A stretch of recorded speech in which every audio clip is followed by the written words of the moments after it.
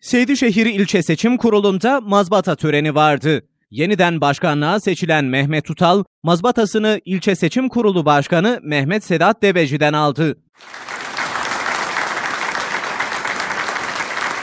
hemşerilerimizin tamamına teşekkür ediyorum. Bu görevi bizleri layık gördünüz. Kaldığımız yerden hız kesmeden Seydişehir'e hizmet noktasında gücümüzün son noktasına varana kadar çalışmaya devam edeceğiz. Adalet duygusundan ayrılmadan artık seçimler bitti.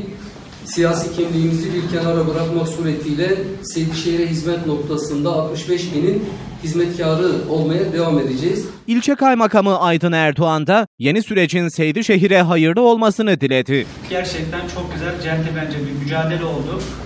Ama e, belediye başkanımın dediği gibi, e, biraz önce belirttiği gibi artık seçim dönemi bitti. Bundan sonra kucaklaşma, kavuşma ve birlik beraberlik vakti.